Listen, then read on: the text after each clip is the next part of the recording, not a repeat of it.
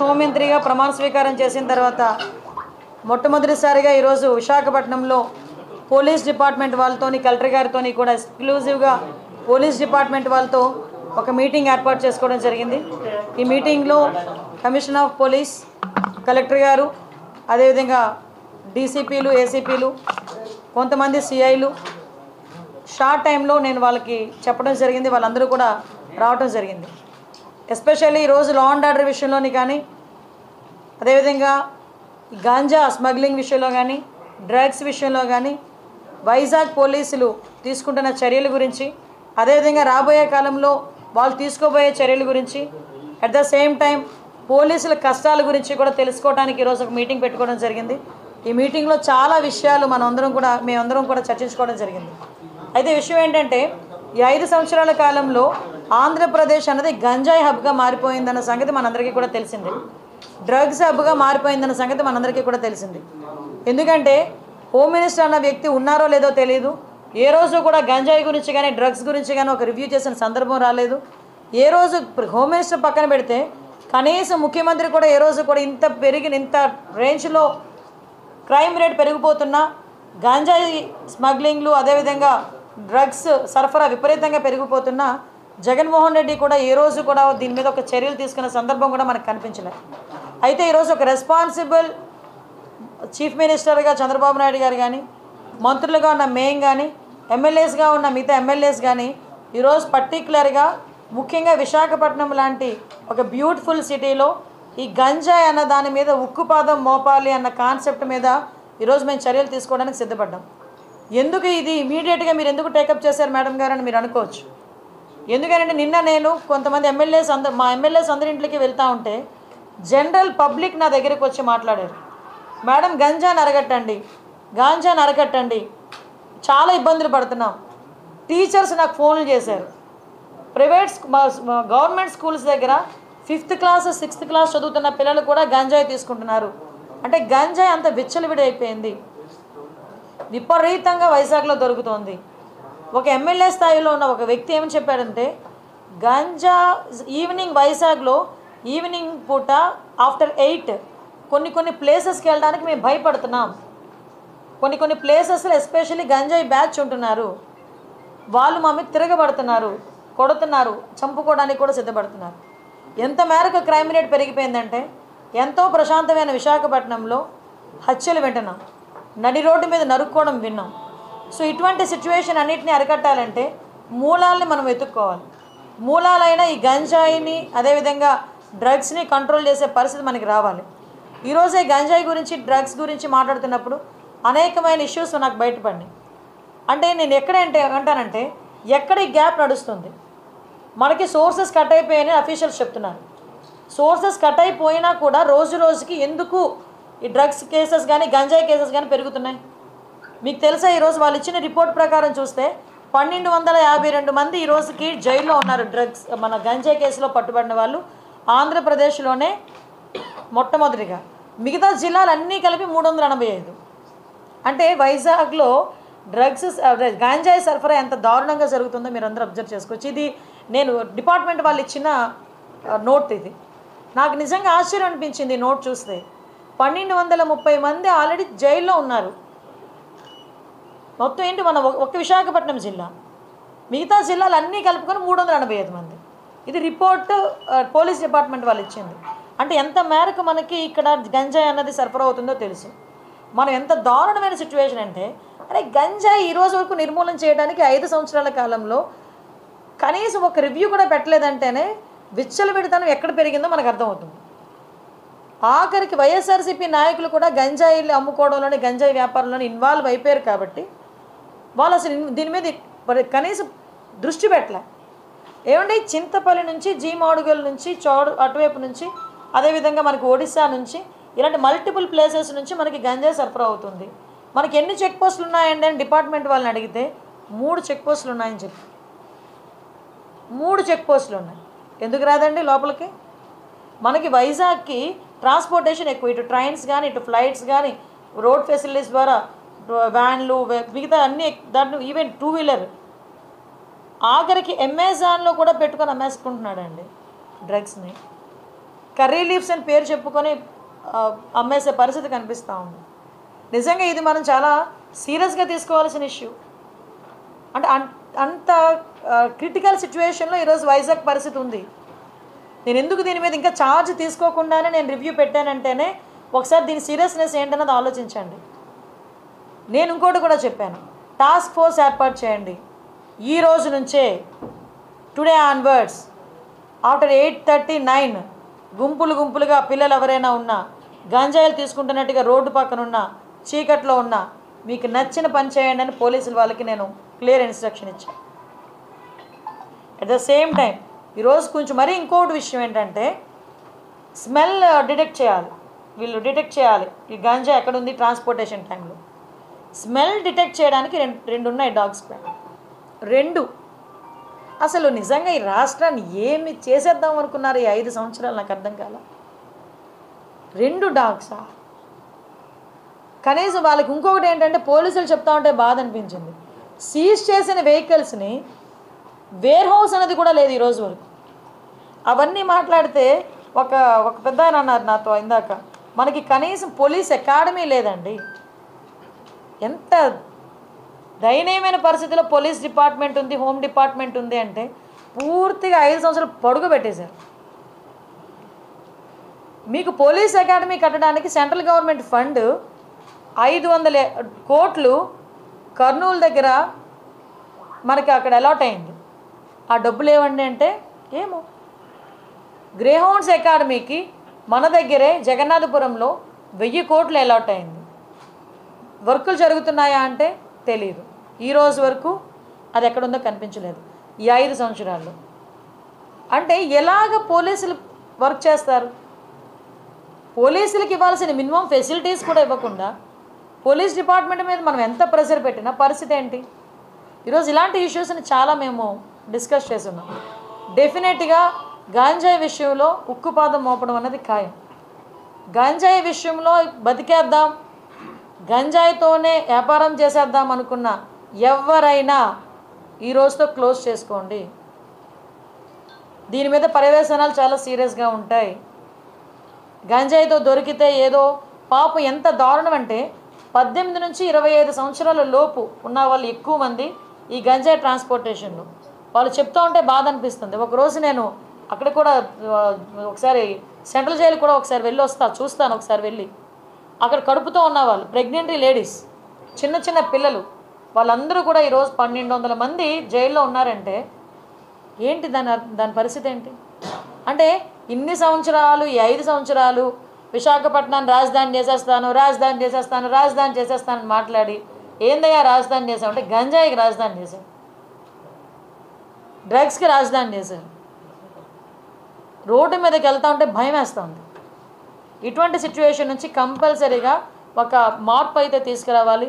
ఆ మార్పు తీసుకురావడానికి వైజాగ్ ప్రజల్ని కూడా నేను సపోర్ట్ కోరుకుంటున్నా.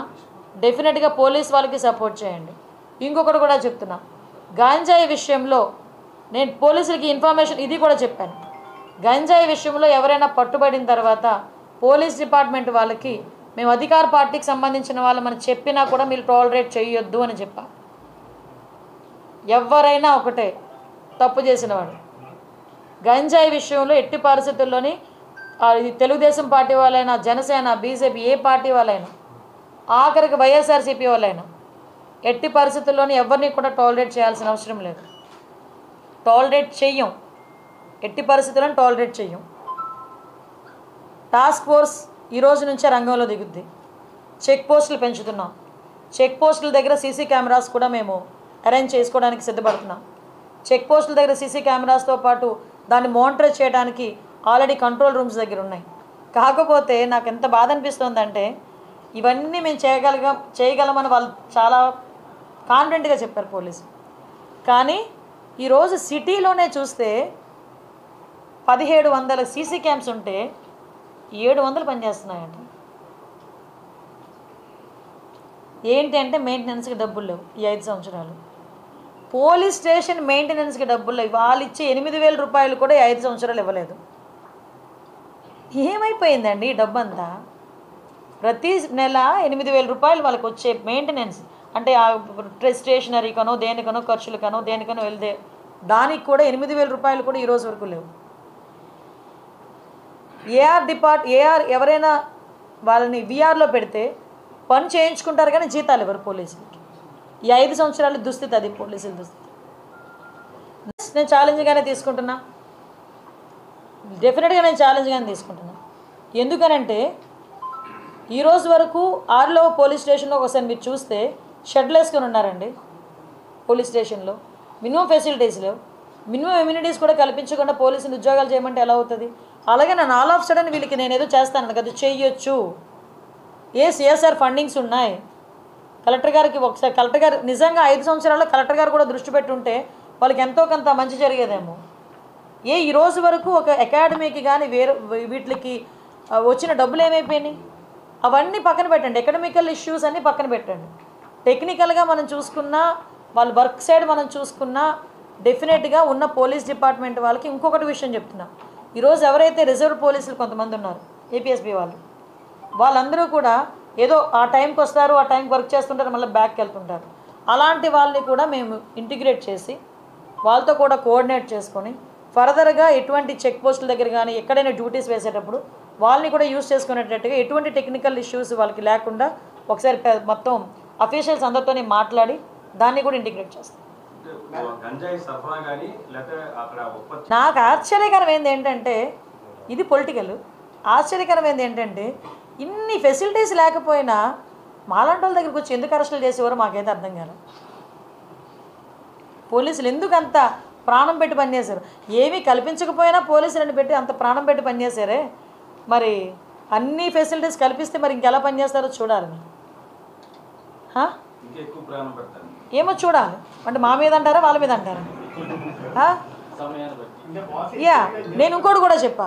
ఎట్టి పరిస్థితుల్లోని కూడా సమయానికి అనుకూలంగా ఏదో సేఫ్ గేమ్ మాత్రం ఆడొద్దు.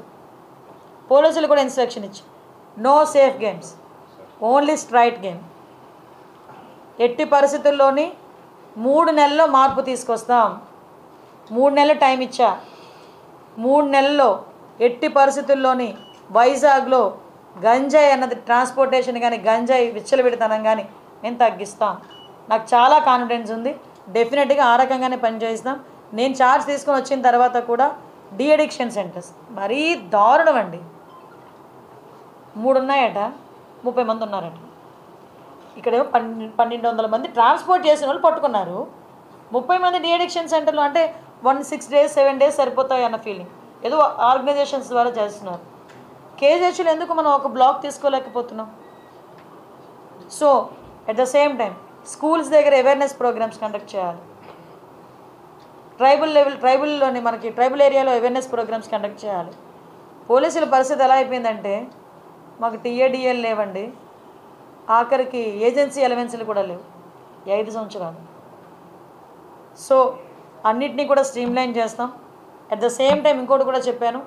ఏదైతే మహిళా రక్షణ విషయంలో ట్రాఫిక్ పోలీసులు కూడా చాలా అప్రమత్తంగా ట్రాఫిక్ని ఎంతైతే మీరు కంట్రోల్ చేస్తారో స్కూల్ ఏరియాస్లో స్కూల్ జోన్స్లో ఈవ్ టీసింగ్ మీద కూడా అంతే దృష్టి పెట్టండి.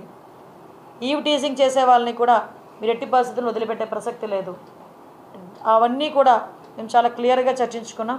నాకైతే పూర్తి నమ్మకం ఉంది. ఎలాగైనా ఎట్టి పరిస్థితుల్లోనైనా ఈ గంజాయిని step by step step by step మేము ఎట్టి పరిస్థితులు అరికడతాం. క్రైమ్ రేట్ కూడా ఎట్టి పరిస్థితి తగ్గుతుందని నమ్మకం అయితే నాకు ఉంది. దానికి అనుగుణంగానే అఫీషియల్స్తో కానీ అదేవిధంగా చంద్రబాబు నాయుడు గారితో కానీ డిస్కస్ చేసి వాళ్ళకి కావాల్సిన ఫెసిలిటీస్ కూడా కల్పించడానికి నేను చర్యలు తీసుకుంటాను చెప్పాను కదండి ఫస్ట్ థింగ్ సోర్స్ని కట్ చేయాలి. సోర్స్ని కట్ చేయాలంటే ఆల్రెడీ వీళ్ళు శాటిలైట్ వ్యూస్ తీసుకుంటున్నారు డ్రోన్స్ పెట్టి. ఎక్కడైతే ఉందో ఆ డ్రోన్లో ఏదైతే మన పెస్టిసైడ్ ఏదైతే ఉందో ఆ పువ్వు చచ్చిపోయే పెస్టిసైడ్ ఏదైతే ఉందో దాన్ని కూడా పిచికారీ చేసే పరిస్థితి. అది కూడా దాంట్లోని మనం ఎంతో కొంత దాన్ని అక్కడ స్టాప్ చేయడం. మనకి ఇక్కడ లేకపోయినా ఒరిస్సా నుంచి వాటి నుంచి వస్తుంది. సో ఒరిస్సా గవర్నమెంట్కి కూడా యాజ్ ఎ హోమ్ మినిస్టర్ నేను ఒక లెటర్ కూడా పెడతా. అక్కడ పోలీస్ డిపార్ట్మెంట్ వాళ్ళని సహకరించమని వీలైతే వాళ్ళకి మనకి ఒక కోఆర్డినేషన్ కలిపి ఒక మీటింగ్ పెట్టమని అక్కడ నుంచి కూడా సరఫరా స్టాప్ చేయడానికి. తీరా ఇక్కడికి వచ్చిన తర్వాత సరఫరా కూడా జరిగేటప్పుడు వ్యాన్స్ కంటైనర్స్ తీసుకెళ్ళిపోతున్నారండి. వీళ్ళు ఎంత టెక్నాలజీ యూస్ చేస్తున్నారంటే ఆ స్మెల్ కూడా రాకుండా ఆ ప్యాకింగ్ కూడా చాలా డిఫరెంట్గా చేస్తారట ప్యాకింగ్ కూడా. సో మేము కూడా ఏమనుకున్నామంటే ఇందాక మేము మాట్లాడుకున్నాం చాలామంది కొంత ఒక టెక్నాలజీని కూడా యూజ్ చేసుకొని ఫర్దర్గా అంతా ఒకేసారి మీకు చెప్పిన మేడం ఏంటి గాల్లో మేడలు కడుతుంది అనుకుంటారు. కానీ గాల్లో మేడలు కాదు భూమి మీద మేడే కడతాం డెఫినెట్గా. కంపల్సరీగా వాట్ ఎవర్ మేము అనుకున్నది అనుకున్నట్టు చేయడానికి సిద్ధంగా ఉన్నాం. వెరీ ఛాలెంజింగ్ గేమ్ ఇది. చేస్తాం ఎస్పెషల్లీ గంజాయికి టాస్క్ ఫోర్స్ అనేది ఏర్పాటు చేస్తున్నామండి. ప్యాటర్న్ ప్యాటర్న్ ఏంటంటే ఇప్పుడు ఆల్రెడీ ఇప్పుడు మనకి సాయ నైట్ అయ్యేసరికి చాలామంది ఈ గుంపులుగా చేరటాలు గంజాయి తీసుకోవటాలు రోడ్ల మీద. నేను చాలా సందర్భాల్లో చూశాను. ఎక్కువ నేను పాయకరపేట నుంచి వచ్చేటప్పుడు కానీ జర్నీస్ చేసేటప్పుడు కానీ చూసుకుంటే ఒక చిన్న చిన్న గట్ల మీద గ్రూప్ ఆఫ్ పీపుల్ కూర్చోవటం ఆ వచ్చే రా వచ్చే వాళ్ళు రా వచ్చే వెహికల్స్ని ఆపడం చైన్ స్నాక్ స్నాచింగ్స్ ఇవన్నీ కూడా చాలా ఎక్కువగా జరుగుతున్నాయి. సో సిటీ సరౌండింగ్స్ అంతా కూడా ఆ అలర్ట్నెస్ అనేది క్రియేట్ చేయాలి ఫస్ట్ అంటే ఈ గుంపులు గుంపులుగా కూర్చొని రోడ్ల మీద కూర్చొని గంజాయి తాగేది. రోడ్ల మీద వాళ్ళు వీరంగం చేసేది. రోడ్ల మీద వెళ్ళే పాసెంజర్స్ని ఆపేది. ముందు అలాంటివన్నీ కొంచెం లీ ఉన్నవి కంట్రోల్ అవ్వాలి. దానికి కంట్రోల్ అవ్వడానికి ముందు టాస్క్ ఫోర్స్ అనేది పనిచేస్తుంది. ఒకటి ఏంటంటే ఒకటి భయం క్రియేట్ అవ్వాలి. రెండు వాళ్ళకి లైవ్లీహుడ్ కావాలి ఈరోజు గంజాయి ఎందుకు పంచి పండిస్తున్నారు? వాళ్ళు గిరిజనులు. అందరూ కూడా అమాయకులు. వాళ్ళు గిరిజనుల చేత పండిస్తున్నారు. వాళ్ళు కొంతమంది పెట్టుబడి పెడుతున్నారు వెళ్ళి. ఎకరాకి లక్ష ఇస్తాను ఎకరాకి రెండు లక్షలు ఇస్తాను. అని వాళ్ళ చేత పండిస్తున్నారు. ఆ తాలూకా దాని రెస్పాన్సిబిలిటీ ఎంత పాపం ఆ గిరిజనులు భరిస్తున్నారు. రేపు పొద్దున ఎవరైతే పెట్టుబడి పెట్టాడో వాడు దొరకడు. మనకి ఎవరు దొరుకుతాడో అక్కడ ఎవరైతే పండిస్తున్నాడో వాడు దొరుకుతాడు పోలీసులు వెళ్తే. సో అటువంటి సిచ్యువేషన్స్లో వాళ్ళకి మనం కొంచెం మోటివేట్ చేయాలి. అవేర్నెస్ క్రియేట్ చేయాలి. అవేర్నెస్ క్రియేట్ చేసి ఆటోమేటిక్ ఇప్పుడు ఏదైతే కొంత మేరకు ఈ టర్మరిక్ అని జింజర్ అని. నేను అదే అడిగాను వాట్ అబౌట్ కాఫీ ప్లాంటేషన్ అంట. ఎందుకంటే మాక్సిమం ఈ వ్యవసాయం కూడా పోడు వ్యవసాయంలో చేస్తారు. ఈ ఈ వాల్స్ మనకి కొండ హిల్స్కి సంబంధించిన స్లోప్స్లోనే జరుగుతుంది ఎక్కువ. ఈ స్టెప్ బై స్టెప్ అది పోడి వ్యవసాయం అంటారు. ఆ పోడి వ్యవసాయం జరుగుతుంది ప్రొడక్షన్ ఆఫ్ ఉమెన్ థర్డ్ కూడా ఏంటంటే భూములు కబ్జాలు కాకూడదు. మేడం ఆపరేషన్ పరివేతం పేరుతో ప్రభుత్వం ఇప్పటికే చాలా వరకు కూడా గంజాయి సాగు చేసే వాళ్ళు ఉన్నారు. అయితే గంజాయి పండించే రైతులకు ప్రత్యామ్నాయంగా ఏదైనా వాణిజ్య exactly. అవకాశం ఇస్తే